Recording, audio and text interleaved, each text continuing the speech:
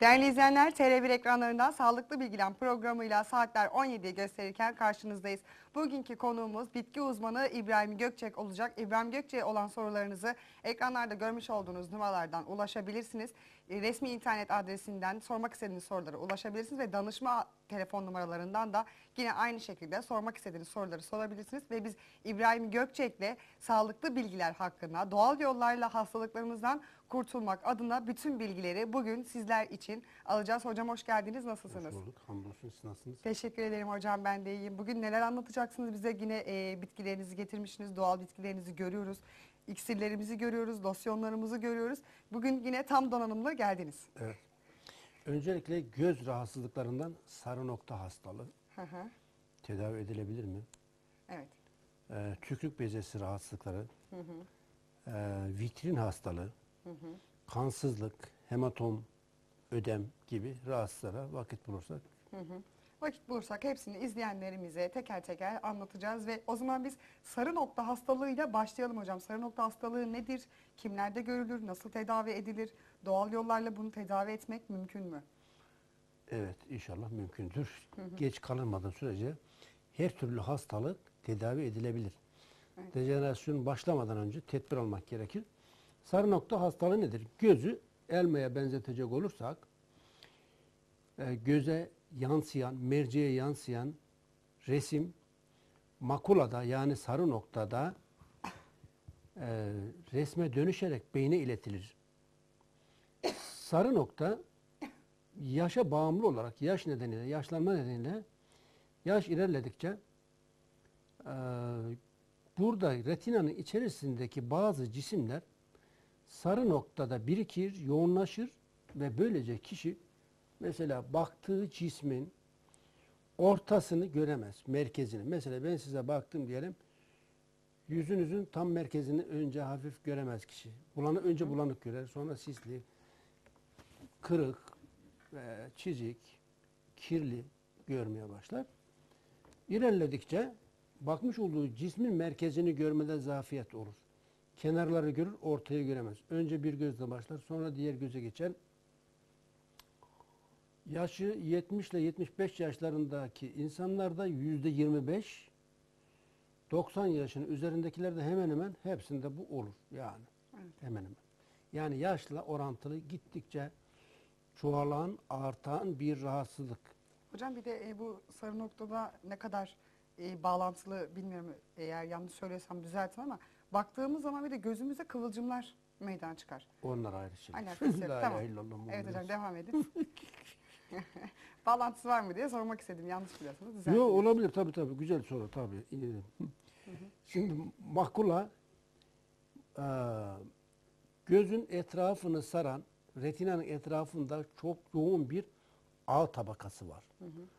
Ağ tabakası denmesinin sebebi balıkçıların kullandığı ağa benzer şekilde çok yoğun bir kan dolaşımı var. Kılcal kan dolaşımı çok karmaşık, kompleks, gözü besleyen damarlar. Şeker hastalığına yakalanan kişilerde şeker tedavi edilemezse zamanla damarlarda e, kan akışı oranı azaldığı için damarlarda yalama, daralma, sertleşme nedeniyle göz beslenemediği için yeni yeni damarlar açılır. Damarlanma olur. Retinanın etrafında damarlanma olursa ne olur? Makulaya zarar verir. Burada cisimcikler oluşur.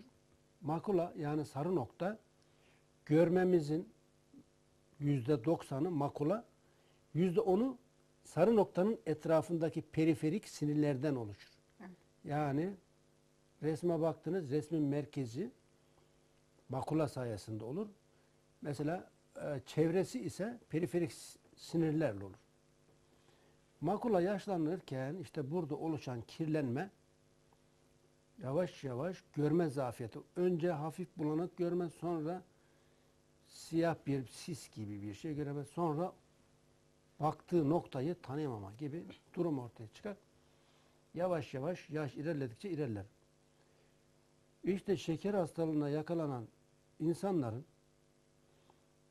10 yıl içerisinde yüzde 25'inde bu rahatsızlık gözüküyor.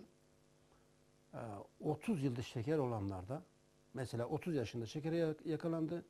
40 yaşına geldiğinde %25'inde bu tür rahatsızlar ortaya çıkıyor. Evet. 30 yıl yani 60 yaşına geldiğinde ise eee, %75'inde göz rahatsızları başlıyor ve hatta dikkat edilmez, tedavi edilmez, tedbir alınmazsa körlüğe sebep olur. Oo. Tabii yani göz gider. Bu nedenle şekere yakalanan kişi hemen tedavi olması gerekir. Hemen tedavi, hemen hafif bir şeker rahatsızlığı. Çünkü şeker demek damarlar yağlanıyor, sertleşiyor, kristalleşiyor, kan akışı azalıyor, hücreler, dokular beslenemiyor. Evet, makula çok çok yaygın bir hal alıyor. E, yanlış beslenme, obezite, Sigara kullanımı tetikliyor çünkü sigara damarlarda yağlama, daralma, sertleşmeye sebep oluyor. Alkol bu rahatsızlığı tetikliyor. Karaciğere çünkü zarar veriyor. Karaciğer yağlanıyor, damarlar yağlanıyor. Alkol, sigara görme zafiyetine, duyma zafiyetine birçok zafiyetleri tetikler bunlar. Bu nedenle sağlıklı beslenmek gerekir. Evet. Sağlıklı yaşamak gerekir. Diyelim ki başladı rahatsızlık, makula. Ne yapılabilir? Evet. Damarların iç yüzünde. Bir insanda ortalama 120 bin kilometre uzunluğunda damar var. Ne yapacaksınız? Fırçayla fırçalayacak haliniz yok içini. evet. evet biz çok özel bir fırça ürettik. Bütün damarları açıcı özel bir fırçadır bu. Bütün damarları açar. Göz damarlarını, kulak damarlarını, beyindeki, kalpteki, bütün organlardaki 120 bin kilometre uzunluğundaki damarların iç yüzeyinde oluşan bütün plakları çözer. Evet.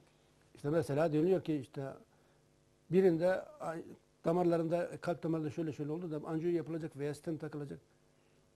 O noktada biraz yoğunluk var. Aslında bütün yağlanma varsa damarlarda bütün damarlarda yağlanma var. Belli bir noktada biraz yoğunluk var. Oradaki duruma müdahale ediyorsunuz ama geneline ne yapamıyorsunuz? Müdahale edemiyorsunuz. Bütün damarlara müdahale etmek mümkündür. Damarların iç yüzeyinde oluşan plakları çözmek mümkün. Neyle? İksirle. İksir ne içerir? Limon suyu, sirke, sarımsak, zencefil, zerdeçal, kurkuma, longa, altın başak otu, zeytin yaprağı, kakule, adı çayı vesaire vesaire. Evet. Kişi Ne iksirdi hocam? Tekrardan adını söyleyelim. Limon suyu mu? gökçek iksir. Gökçek La ilahe. Olur böyle şeyler hocam. Televizyon kısalım sesini. Evet, e, gökçek iksirle damarlarımızdaki bütün rahatsızlıkları çözebiliriz. Buradan gösterelim eğer yönetmenimiz görebiliyorsa. Sarımsaklı limon suyu bu şekilde göstereyim ben size. Evet, Evet. bu şekilde. Bununla tedavileri mümkün oluyor. Evet hocam devam edelim biz. Şimdi yıllar önce, kaç yıl önce, aşağı yukarı 20 yıl önce Hı hı. göz doktoruna gittim. Dedi ki sizde silindir var. Nedir dedim silindir? Ne? İşte gözünüz elma gibi hafif sıkışmış armut gibi olmuş. Hı. Göz gözde bir içerideki basınç ve kan dolaşımı zafiyeti nedeniyle gözün şekli bozulmuş. Işığa baktığınızda yani bir resme bir cisme baktığınızda o cisim sarı noktaya yansıması gerekirken hafif yanına yansıyor. Hmm, karanlıkta akşam araba sürerken geç vakitlerde ışığa baktığında etrafında halka görüyor. Evet. Aa, ne olacak? Doktor dedi ki bu 10 bin kişide bir kişi de olur. Tedavisi yok. Zaten bilinmiyor. Çok nadir olan bir şey. Ben de dedi belki bir iki defa karşılaştım böyle bir durumla. E ne olacak? Tedavi yok. Bununla yaşayacaksın. Yaşamayı öğreneceksin. Hı. Hayat böyle falan. Beni teselli etmeye çalışıyor. Dedim ki ben çözerim. İyi hadi bakayım çöz dedi. Hadi bakayım çöz. Evet. Yapacak bir şey yok dedi. Yaşayacaksın. Bitti gitti. Ha, iyi dedim. Yani 35-36 yaşında böyle bir durum ortaya çıktı. Yanlış besleniyorduk. Aşırı hayvansal besinler, Evet. peynir, çok ağır besinler, hayvansal besinler mahvediyor. Damarları yağlama, daralma, sertleşme. Yani 60 yaşına gelmeden 35 yaşında 60 yaşındaki insan gibi yıpranıyorsunuz. Yıpranıyoruz. Evet. Damarlar tıkanıyor, gidiyor, bitiyor. 6 ay iksir kullandıktan sonra tekrar doktora gittim, muayene ettim. Oh my god dedi. Dedim ki ne oldu? Ne oldu dedim. Dedi ki ya silindir yok dedi. E nasıl yok dedim. Nereye gitmiş? Ben de anlamadım. Dosyaları çağırdı hemşireleri. Dosyayı getirin bu adama dedi. Bir yanlışlık mı yaptınız dedi. Bunda ret- e, silindir var dedi. Kaybolmuş dedi. Yok göremiyorum dedi. karıştırdılar. Yok efendim karıştı yok araştırdı inceledi.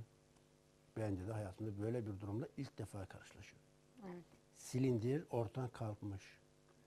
Yani bu sarı nokta hastalığından daha ağır bir hastalık.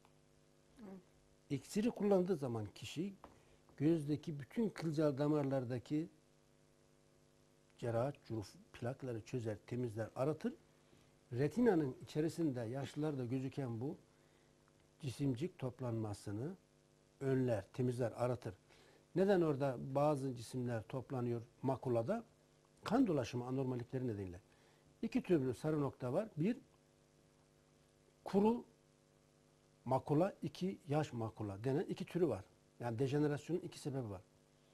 Birinde mesela bu damarlanma olayı oluyor. Bağ, ağ dokusunda bu damarlanma olayı sırasında yavaş yavaş damarlardan etrafa dokuya sıvı sızarsa ne oluyor? Islak olduğu için buna ıslak ya yaş eee,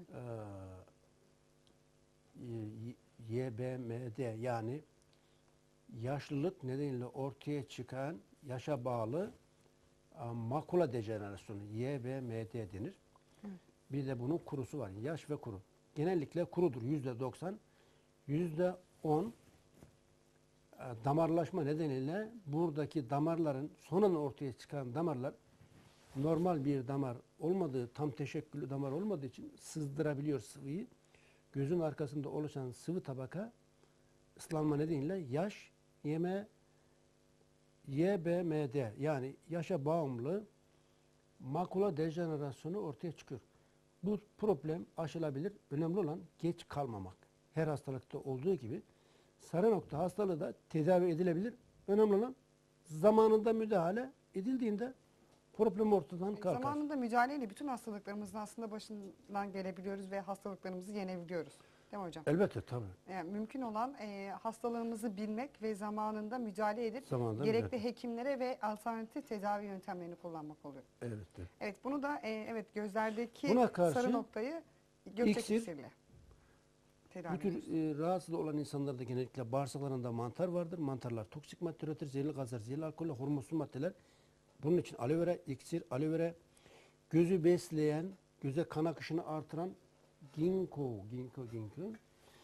Bu ginkgo göz damarları için, yani sadece göz değil, kulak için, göz için, beyin için ginkgo dünyada en etkili bitkidir. 36 klinikte toplam 10.815 hasta üzerinde tedavi denemeleri yapılmış. İnsanların beyinlerinin fonksiyonlarını artırdığı.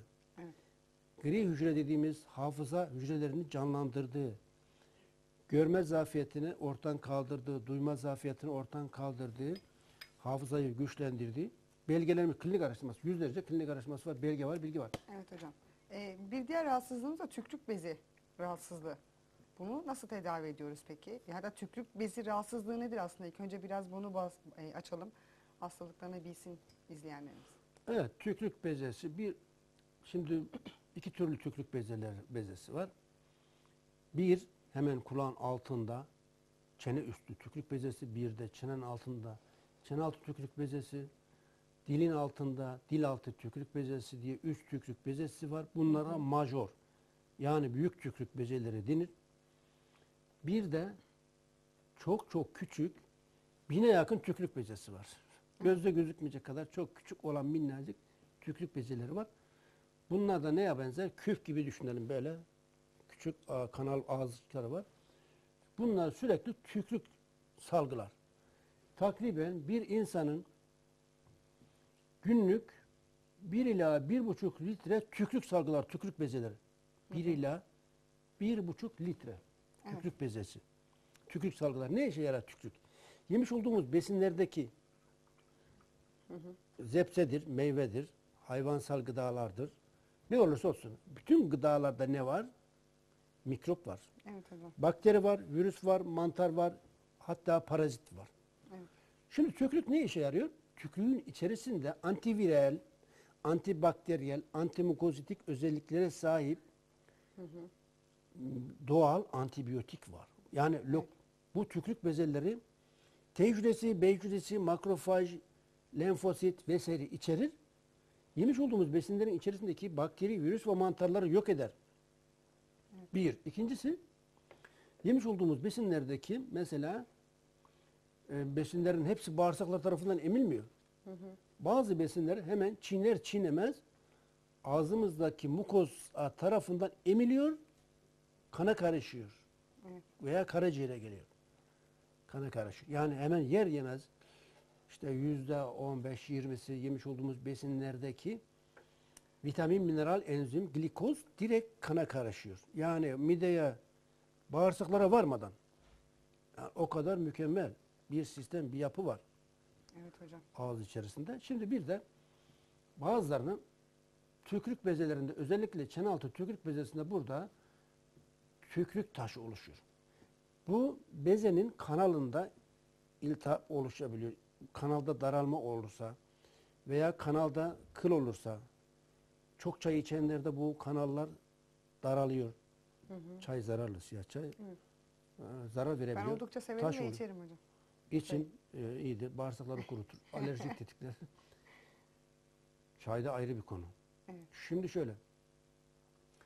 Tükürük bezelerinde iltihap varsa, taş varsa burası partosis denir. Ha, tükürük bezelerine şişebilir. Bir hanımefendi bize geldi. Münevver hanım e, dost- raporları var doğaltedavi.net'te.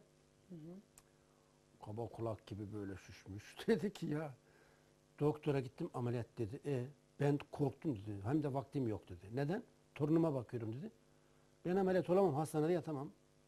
Ameliyatta olmak istemiyorum zaten dedi. E ya var mı bunun çözümü? Her şeyin çözümü var. Önemli olan arayıp bulmak. Kesinlikle. İksir, aloe vera jel, yoğurt otu forte, e, cordyceps forte. Bunları kullanacaksınız. Yavaş yavaş iltihap yok olur, erir, biter gider. 6 hafta sonra geldi, hiçbir şey yok. Tamamen. Ama bir de bu kaba kulağa sebep olan virüs, paroksima virüsü akıllı virüstür. Diğer virüsler gibi değil. Hocam tükürüklerden bahsetmişken biraz önce çaydan bahsettik. Çayın zararlı olduğunu. Kahvemiz geldi şimdi. Biz bir yandan programımızı yaparken bir yandan da kahvemizi içiyoruz. Peki kahve zararlı mıdır tükürük bezlerinde yoksa kahvenin yararlı olan e, bazı maddeleri de var içerisinde biliriz mesela kahve. Çay kahve. Şimdi biraz sonra ona değineyim. Nerede kaldım? Şurada kaldım. Ee, kaba kulağa sebep olan virüs, human paroksima denen virüs, akıllı virüs. Kaba kulağa sebep olur. Kaba kulak genellikle 4, 5, 6 bilemeden 10 yaşına kadar olur yani çocuklarda. Ben de 12-13 yaşında kaba kulak olmuştum. Buram böyle şişiyor. Kaba kulağa yakalanan kişi 10 yıl, 20 yıl veya 30 yıl sonra virüs yukarıdan aşağı iniyor, faaliyet aşağıda yapıyor. Önce kaba kulağa sebep olur. Akıllı virüs bu. evet. Tehlikeli. Epididimite sebep olabilir. Yani testis üstü bezi iltihaplanmasına. Varikozula sebep olabilir. Testislerde iltihaplanmaya sebep olur. Buna orşit denir. Orşit. Yani testislere zarar verir. Allah korusun tedavi edilmezse kısırlığa sebep olur. Yani bu virüs çocukken kaba kulağa yetişkinken spermleri üretimini engelleyici hatta kısırlığa sebep olabilir. Varikozula sebep olabilir. Epididimite sebep olabilir. Orşite sebep olabilir. Tedavi edilmezse kısırlığa sebep olur. Spermin kalitesini düşürür. Yavaş yavaş oradaki iltihap yok eder. Ha buna karşı bazıları antibiyotik veriyor. Ya antibiyotik bakteri değil ki bu antibiyotik veriyorsun ama daha da kötü yapıyorsun. Evet. Bu sefer antibiyotik mantarı azdırıyor. Virüsle beraber daha da tehlikeli hal alıyor. Hem mantar çoğalıyor hem virüs çoğalıyor.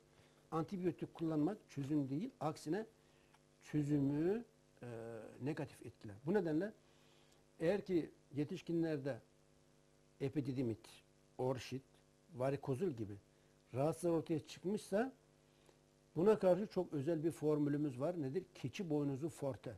evet. Keçi boynuzu artı kortisep forte. Kortisep Keçi boynuzu hocam özür diliyorum. E, günümüzde bilindiği kadarıyla da cinsellik cinsel e, de etkili oluyor. sperm kalitesini Keçi boynuzu artırıcı. pekmezi falan vardır hatta. Cinsel e, hormon artırıcı, hormon düzenleyici, e, spermin kalitesini artırıcı, epididimit, orşit ve varikozula karşı etkili. Biz çok güzel bir keçi boynuzu forte diye formülümüz var. Birleşiminde çakır dikeni ekstraktı, çakşır kökü ekstraktı, damiyana, azgın teki otu ekstraktı gibi 19 yokum bin 19 çeşit bitki ekstresi içerir keçi boynuzu.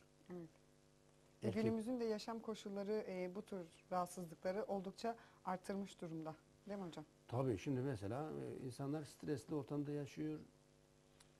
Ailesi, annesi, babası, dedesi, ninesi, ebesi, sevdikleri köyde veya küçük şehirlerde İstanbul gibi büyük ye- şehirde yaşayan insanlar 17 milyonluk nüfus kalabalıklar içerisinde yalnız yaşıyor. Evet. Sabah işe gidiyor bir sürü insanla karşılaşıyor. Akşam işten dönüyor yalnız. Yani arkadaşı yok, eşi yok, çevresi yok, dostu yok. Bunalıma giriyor. Çalışıyor, çalışıyor, çalışıyor. Niçin, neden çalışıyor? Evlenecek, evlenemiyor. Para yok.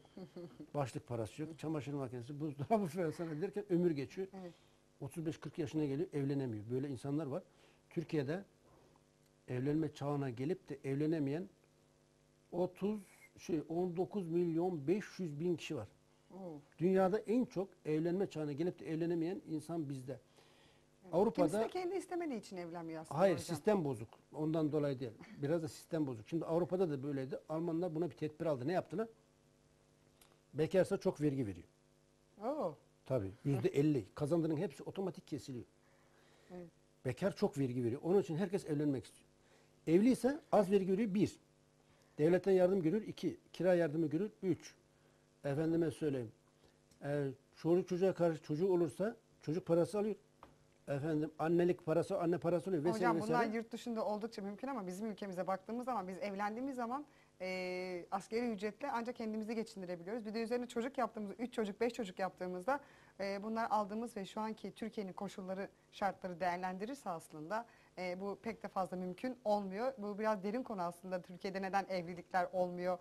Çocuk parası neden verilmiyor? Şimdi 5 çocuk diyoruz ama bu 5 çocuğa bakabilecek Kanunlarda maddi değişiklikler yapılmazsa imkanlar Türkiye'de sağlanıyor bu mu? evlenemeyen insanları ev veremezsek, ev veremezse Türkiye 20 yıl sonra Türkiye bölgenin güçlü değil zayıf ülkesi olacak. Tabii. Belki de Allah korusun Tabii bölünüp ki genç parçalanacak. nüfus olmayacak artık. 20 yıl sonra Yaşlı Türkiye'de daha fazla eğer ki olacak. tedbir alınmazsa 20 yıl sonra Türkiye. Aa, şimdi Almanya, Fransa, İngiltere, İtalya, İspanya gibi ülkelerde Kesinlikle. Yaşlı ülke diyorduk onlara, yaşlı nüfus diyorduk. Bunlar tedbirini aldı tekrar. İnsanlar çoğalmaya başladı Avrupa'da. Evet. Almanlar şimdi artık 7-8 çocuğu olan Alman var benim tanıdığım. Hı hı. Türkiye'de kimin 7-8 çocuğu var? E Kimsenin çocuğu yok. 7-8 şimdi yurt dışında ne kadar çok çocuk yaparsan o kadar çok gelirin artıyor. Ama şimdi bizim ülkemize baktığımızda ne kadar çok çocuk yaparsak gelirimiz o kadar çok düşüyor. Ve onlara bakma imkanımız da az oluyor. Bunun yanında elektriği var, suyu var, kirası var, yemesi, içmesi var. Bir de üzerine çocuğun masrafları eklendikçe hiçbir şey yapamıyor. Benim evli olan arkadaşlarım da var. Benim çevremde bekar olan arkadaşlarım da. Evli olanlar çocuk yapmıyor. E biz kendimizi zor geçindiriyoruz diyor. E bekar olanlar e ben kendimi zor geçindiriyorum. Aldığım maaş belli, aldığım para belli. Evlenirsem nasıl geçineceğim derdine düşüyor. Ve evli olanlar çocuk yapmıyor. Bekar olanlar da aman ben aldığım maaşla kendimi geçindiriyorum. Bu bana yeter deyip evlilikten geri çekiliyorlar açıkçası. Ülkemizde yurt dışı olanakları sağlansa eminim ki bizim ülkemizde de e, çok güzel olanaklar ve genç nüfusun artışında da fazla olanaklar olacağına Tedbir inanıyorum. almazsak işte biteceğiz. Yaşlı. Kesinlikle Dünyanın en hocam. yaşlı millet olacak Allah korusun. Evet. Biteceğiz, gideceğiz. Tarihe karışacağız. Tarihe karışmamak için, büyük devlet, büyük millet olmak için e, nüfusun artması için evlenemeyen 19 milyon 500 bin insanın evlenmesine imkan hazırlamamız gerekiyor. Avrupa'da, Amerika'da, Asya'da bunu yapılıyor. Tedbirini aldılar. Bizim de yapmamız gerekiyor. Şimdi çayla ilgili konuşacak olursak. Ya siyah çay Türk tamak tadı nedir? Budur. Evet çok güzel, çok leziz gözüküyor ama ve lakin bunun bir yan tesiri var. Bu siyah çayın nedir yan tesiri? Dünyada siyah çay iki dakikadan fazla demlenmez. Hı. Sadece Türkiye'de iki dakikadan fazla demlenir. İki Biz dakikadan fazla demlenirse Çay, çay, demleriz, bekletiriz 15-20 dakika aman çay demlensin de çöksün diye. Ha, iki dakikadan fazla demlenen çay tehlikelidir. Neden tehlikelidir? İçmemek gerekir.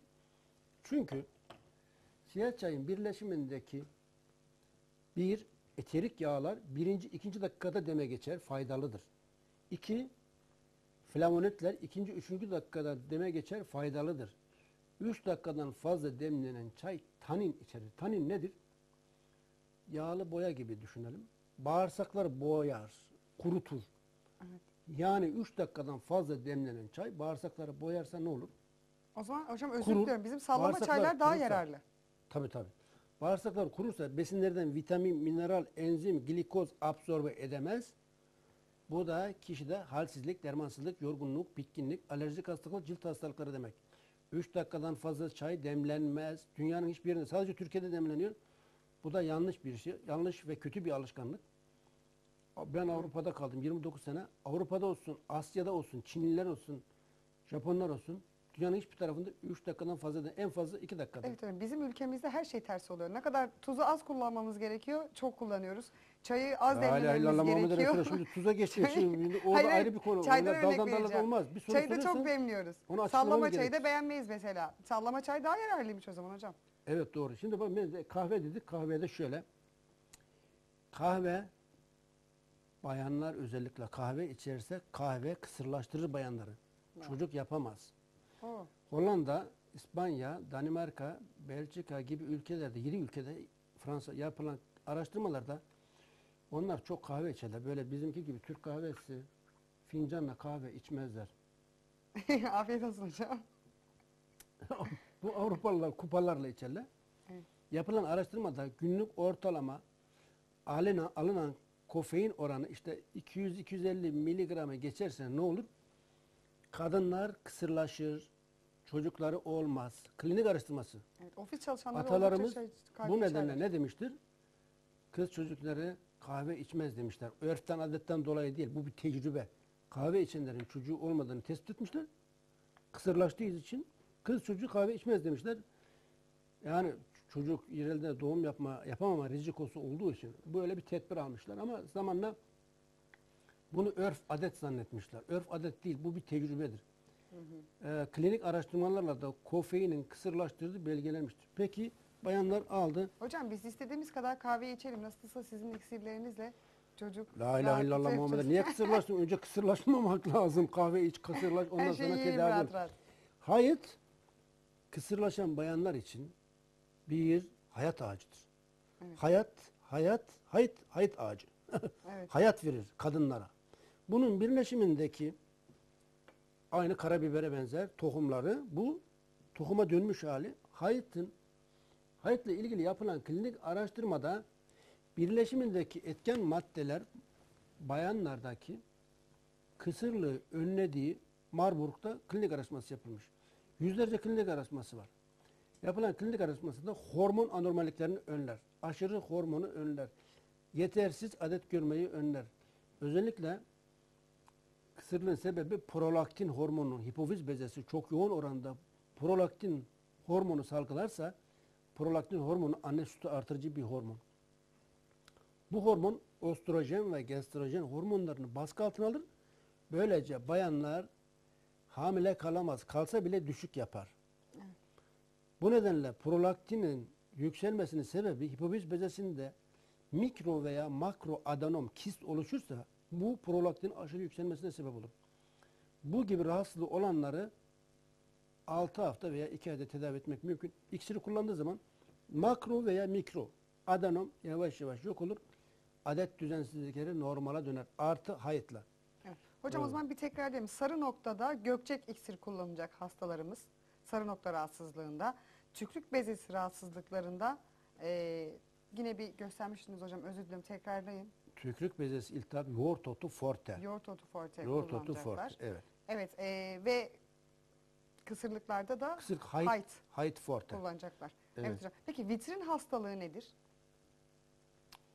Şimdi yolda yürürken bakıyorsunuz vatandaş genellikle biraz yaşlı olanlarda illaki yaşlı olacak diye bir şey yok. Bir de bakarsın adam olduğu yerde durur, yavaşlar, yürüyemez, yürümez, takılır, kalır. Zannedersin ki adam Aa, bir yerde bir vitrinde bir eşya gördü, bir canına bir şey çekti bakacak. Hayır adam cihaz yürüyemiyor. Evet. Yürüyememesinin, aniden durmasının, hatta hafif böyle eğilmesinin birçok sebebi olabilir. Yani vitrin hastalığının birçok sebebi var. Bir, omur kanalının daralması. kuyruk, beyinden yani e, soğancıktan kuyruk sokumuna kadar uzanan spinal cord isimli omurilik kanalının içerisinden geçen sinir, sinir demetinin özellikle L4, L5'te omurlar daralır. Daralırsa ne olur? Omurların hemen ya, yan taraftan çıkan sinirler, kanaldan çıkan sinirler e, buradaki disk tarafından sıkıştırılabilir. Veya kemiklerde iltihaplanma olmuşsa, kireçlenme olmuşsa, sinirler sıkışırsa, deforme olmuşsa ne olur? Sinirler baldır ve bacakları kontrol edemez, kalçayı kontrol edemez. Kişi de baldırda, bacakta ve kalçasında ağrılar hissetmeye başlar, yürümekte zorlanır. Adım atamaz duruma gelir. Sinirler sıkıştıkça beldeki sinirler, yani alttaki organları kontrol eden sinirler. Bunun birçok sebebi var. Mesela yaşlandıkça kişi omurlar arasındaki disk yani normal şeklini koruyamaz, bozulur, hafif gevşer, sinirleri sıkıştırırsa veyahut da başka bir sebeplerden, çeşitli kazadan olabilir, çeşitli sebepler olabilir veya doğuştan da olabilir. Omur kanalı sıkışırsa, daralırsa, omurilik kanalı, sinirler sıkışır. Sinirler sıkışırsa ne olur? Kişi yürümekte zorlanır, hareket etmekte zorlanır. Tedavi olmazsa zamanla cinsel organını kontrol edemez. Aa. Defa hacetini kontrol edemez. idrarını kontrol edemez. Efendim eğilmekte, kalkmakta zorlanır. Zamanla tedavi edilemez. Allah korusun ne olur? Tekerlekli sandalye mahkum olur. Ameliyatı da rizik olur. Ha. Evet. Peki iyi güzel. Ne yapılabilir? 40 kilit forte. 40 kilit forte kullandığı zaman kemiklerdeki bu anormallikler ortadan kalkar. Omurlar arasındaki sıvı oranı yükselir. Diskler tekrar disk, omurlar arasındaki disk eee, 4 ila 5 milim kalınlığında sünger gibi. Omurlar çevredeki sıvıyı emer sünger gibi. Şimdi bu yıprandığı zaman sinirlere zarar veriyor. Ee, 40 kilit forteyi kullandığı zaman e, eklemler arasındaki sıvı oranı yükselir. Sünger gibi olan disk çevredeki sıvıyı, eklem sıvısını emer ve kendine gelir. Kişi mesela sabah kalktığında boyu bir, bir 70'tir. Akşam eve geldiğinde yorgun argın boyu bir 68'e düşer. Evet. Neden? Çünkü at- 24 tane omurlar arasında disk var. Ee, yuvarlak metal para şu kadar şeklinde diyelim. Bunun ortası hafif jel gibi. İşte bu sünger gibi olan şey kişi yanlış hareket ederse, yanlış çalışırsa, tek taraflı sürekli ağır bir şeyler kaldırırsa içindeki jel gibi olan kısım dışarı doğru fırlar. Diskin dışarı doğru fırlamasıyla ne olur? Prolaps dediğimiz bir durum ortaya çıkar. Bu da siniri sıkıştırır. Bel fıtığı dediğimiz olay ortaya çıkar. Ee, 40 kilit kullandığı zaman kişi ameliyatsız durum tekrar normala döner. Tekrar sinovial dediğimiz sinovial sıvı yani eklem sıvısının kalitesi artar. Ee, diskler tekrar normal haline döner. Ee, vitrin hastalığının omur kanalının daralmasının haricinde birçok başka sebebi de vardır. Bir, kalp damar rahatsızlığı varsa kişi kalp sıkışması geçiriyorsa hareket etmekte zorlanır. Vitrin hastalığını tetikler. Nefes alıp veremiyorsa e, astım nöbetleri varsa böyle sıkışır nefes almakta. Efendim böbrek yetmezliği varsa birçok rahatsızlık vitrin hastalığını tetikler. Birçok hastalık vitrin hastalığına bağımlıdır. Bir de baldır ve bacaklarında kişinin atar damarları böyle sertleşirse kişi adım atamaz. Atarken aksar. Bu da vitrin hastalığının bir türüdür. Eğer ki e, damarlarda yalama, daralma, sertleşme nedeniyle problem ortaya çıkmışsa alıç veya ginkgo kullandığı zaman iyi gelir. Yavaş yavaş. Evet. düzelir. Onun haricinde 40 kilit, 40 kilit forteyi kullandıkları Evet. zaman da vitrin hastalıklarından kurtulmaları mümkün oluyor Kemiklerden kaynaklandığı zaman 40 Hı hı. kilit. Peki hocam kansızlık rahatsızlığında neler yapılmalı? Günümüzde bu çok mümkündür kansızlık. Evet, Nasıl? insanlar neden kansızdır? Evet. Kansızlığın birçok sebebi var. Bunlardan biri gastrit, ülser, pangastrit. Yani midede ya çok basit gibi algılanan gastrit tedavi edilmezse ülsere, ülserde pangastrite dönüşür. Bütün mideyi iltihap kaplarsa ne olur? Mide asit salgılıyor, protein salgılıyor, pepsin vesaire vesaire. Bir de intrisin faktör salgılıyor. İntrisin faktör bir anahtardır. Ne işe yarar bu anahtar? Besinlerdeki vitamin, mineral, enzimin emilimini sağlar. İntrisin faktör olmadığı zaman yersiniz ama yediğiniz şeyler bağırsaklar tarafından emilemez, absorbe edemez. Yersiniz, kaybedersiniz yediklerinizi. Intrisin faktörü yetersizliği kansızlıktan ölüme dahi götürür kişi. Yani midesindeki problem kişinin kansızlıktan ölümüne bile sebep olabilir. Çok çok tehlikeli. Midesinde rahatsız olan kişi hemen tedavi olması gerekir. Mide rahatsızlığı olanlar için tonik kullandığı zaman kişi 6 haftada en ağır gastrit, ülser, reflü, pangastrit ortadan kalkar. 6 haftada tedavileri mümkün oluyor mide Tabii hastalarında. tabii. Çok kolay elhamdülillah. Problem değil. Tonik, limon suyu, sirke, ha, pardon bunda limon suyu yok. e, bunda lahana suyu. Evet. Lahana suyu. Limon suyumuz burada hocam. E, limon suyu da. E, kırmızı lahana, beyaz lahana, üzüm sirkesi, maydanoz, ada çayı, at kuyruğu otu, zerdeçal, zencefil, sinirot vesaire içerir. Ha, Mideyi e, bu lahana Mide suyuyla bir ay, bir buçuk ay, en kötü ettik. ihtimal iki ay geçmez. Bununla ilgili Amerika Birleşik Devletleri'nin Profesör Doktor Çeneyi, Profesör Doktor Vesel, Profesör Doktor Miller klinik araştırması yapmışlar. İnsanları tedavi etmişler. Kansızlığın bir diğer sebebi bağırsaklara kişi kimyası ilaç kullanıyorsa yoğun şekilde. Bazıları ömür boyu çeşit çeşit haplar alıyorlar. Tansiyonda, kolesterolde, diyabetli vesaire vesaire. Bu kimyasal ilaçlar ne yapıyor? Bağırsaklardaki faydalı bakteri yok ediyor. Faydalı bakteriler vitamin üretir. Zararlı bakteri ve mantarlar toksik madde üretir. Toksik maddeler bağırsakları yakar. Emilerek karaciğere gelen toksik maddeler karaciğer arıtmaya çalışır. Arıtamazsa ne yapar? Toksik madde kanda dolaşır. Karaciğer zamanla yorulur, yağlanır. Görevini yapamaz hale, kan yapamaz hale gelir. Yani aslında kansızlığın yüzde 60, yüzde 70'i bağırsaktaki problemlerden kaynaklanır. Sonra karaciğerdeki problemlerden, sonra midedeki problemlerden kaynaklanır. Nadiren bazı insanlar hemoroid nedeniyle yoğun kanama bu da sürekli tedavi edilmezse kansızlığa sebep olur. Ülseratif kolit nedeniyle kanama olur. Bu da kansızlığa sebep olur. Bazı bayanlar sürekli yoğun adet görürler veya miyomu vardır sürekli kanaması olur. Yani iç kanama olur farkına varmaz. Bu gibi durumlarda rahatsızlığın ne olduğunu bilirsek Evet. tedavisi mümkündür. Şimdi kanda dolaşan lökositler yani ak yuvarlar, al yuvarlar ve trombozitler var. Evet.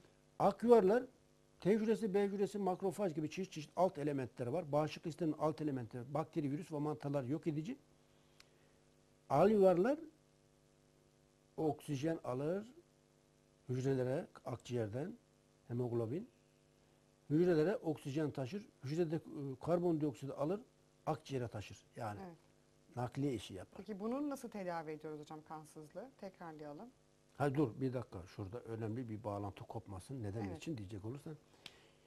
Hemoglobin oksijeni aldı akciğerden hücreye taşıdı. Hücredeki karbondioksidi aldı akciğere taşıdı. Nakliye işi yaparken kişi sigara içiyorsa sigaranın içerisindeki karbon monoksit bu hemoglobindeki oksijeni bin kat daha büyük güçle kendine çeker, emer. Yani sigara içende kansızlık olur. Evet. Sürekli sigara içenin yavaş yavaş duyma zafiyeti, görme zafiyeti ve cinsel zafiyetsizlik başlar. Beyin yavaş yavaş gider sigara içende gri hücreler ölür. Çünkü bes oksijen yetersizliği. Farkına varmıyor. E, yaşıyor, yaşıyor. Tamam. Sigara içiyorsa sigara içen insanla ara- arasında yüzde yirmi en az yaşam kalitesi farkı vardır. Evet hocam. Beyin hücreleri sigara içen de yavaş yavaş ölür. Farkına varmaz tabii o. Hemen ölmüyor. Sigara ne kadar çok içirse o kadar yavaş yavaş ölüyor. Farkına varmıyor. Yavaş yavaş gidiyor. Alkol yine aynı şekilde tehlikeli çünkü karaciğere geliyor. Karaciğer arıtmak için B, B6 vitamini, B12 vitamini, folik asit harcıyor. Aşırı vitamin harcadığı için e, kan nasıl yapılacak? B6 vitamini gerekir, B12 vitamini gerekir, efendim C vitamini gerekir. E, olmazsa neyle e, kan yapacaksın? Kansızlığı sebebi sigara, alkol, yanlış beslenme. Ve bağırsaklara aşırı kimyasal ilaç kullanmaktan dolayı mantar yerleşmesi. Bu problemleri aşamadığı zaman kişi kansızlık problemi ortaya çıkar ve tehlikelidir. Asla alkol içmemek gerekir. Asla sigara kullanmamak gerekir. Ve kimyasal ilaç özellikle antibiyotik e, kullanmamak gerekir. Abur cubur yememek, doğal beslenmek gerekir. Yani kansızlığın birçok sebebi var. Kansızlığa karşı dünyada en etkili, en güzel şey nedir? Spirulina. Ama Evet. mideyi, midede problem varsa tedavi edeceksiniz. Bağırsakta problem varsa tedavi edeceksiniz. Karaciğerde problem varsa tedavi edeceksiniz. Sigara, alkol kullanıyorsa bırakacak. Yani spirulina kansızlığa karşı dünyada en güzel, en etkili. Çünkü spirulinada 2000 çeşit enzim var. 94 çeşit mineral var. B1, B2, B3, B6, B12, K vitamini, A vitamini, E vitamini var. Esansiyel ve esansiyel olmayan amino asitler var. Omega 3, 6, 9 balık yağındaki olan omega yağları var. Uzaya giden astronotlar uzaya tencere, tabak, mutfak taşımadılar. Elma, armut da götürmediler. Makarna yapmadılar orada. Ne götürdüler? Spirulina tableti götürdüler. Bir, Evet. su götürdüler. İki, Evet. bir insan 40 gün, 50 gün sadece spirulina ve suyla yaşayabilir. Kesinlikle hocam. Ee, evet kansızlıkta spirulina gıda takviyesi Spirulina ama kullanılacaklar. diğer rahatsızlıkları tedavi etmek Tabii, gerekir. ilk önce Başka mideyi- ne- neleri var? Evet, mide ve bağırsakları tedavi Midede, edecekler. bağırsakta, karaciğerde, kadın hastalıkları, hemoroid, ülseratif Evet. kolit sebebini bilmek lazım. Sebebini ortadan kaldırmak gerekir. Bir, Evet. Onları doğru tedavi beslenmek ettikten gerekir. sonra. Sigara, alkol tehlikelidir. Evet Bunlara hocam, dikkat etmek gerekir. Zamanımızın sonuna doğru geliyorum ve ben bunu da sormak istiyorum. Hemotom rahatsızlığı nedir? Birazcık bundan bahsedelim ama çok kısa bahsedelim çünkü programımızın sonuna doğru geliyoruz. Hemotom, Hemotom, rahatsızlığı. Ezilme, burkulma, morarma, e, herhangi bir kaza, herhangi bir spor, faaliyet, boks, karate, kickboks vesaire nedeniyle or, iç organlarda iç kanama nedeniyle oluşan yumrular veyahut da ciltte oluşan ezilme, burkulma, morarma nedeniyle oluşan iç kanama. Burada pıhtılaşan kan, yoğunlaşan kan önce morarır, sonra yeşilleşir, sonra siyahlaşır vesaire. Yani kendiliğinden geçer aslında. Ama bazı insanlarda kan dolaşımı zafiyeti olanlarda e, bu yavaş yavaş ilerler. Tabii ki o zaman doku zarar verir. Özellikle kickbox, boks yapanlarda çok ezilme, burkulma orasında, burasında, şurasında olur. Veya futbolcularda çok sürekli düştükleri için, birbiriyle çarpıştıkları için vesaire. Bu tür ezilme, burkulma, morarmalara karşı e, biz çok mükemmel bir ürün formülize ettik. Bir, atalarımızın üretmiş olduğu kılıç yağı. iki Almanların üretmiş olduğu masaj yağı. Üç, ozon yağının üçünün terkibinden oluşan ozon forte geliştirdik. Evet. Ozon forte ne işe yarar? Benim oğlum bir Almanla kavga yapmış çocukla. Ee, dayağı yiyince Alman çocuğu dört çocuk getirmiş. tekrar kavga, tekrar dayak yemişler bunlar. Kavgacı değil ama çocuk kendini savunuyor mecburen.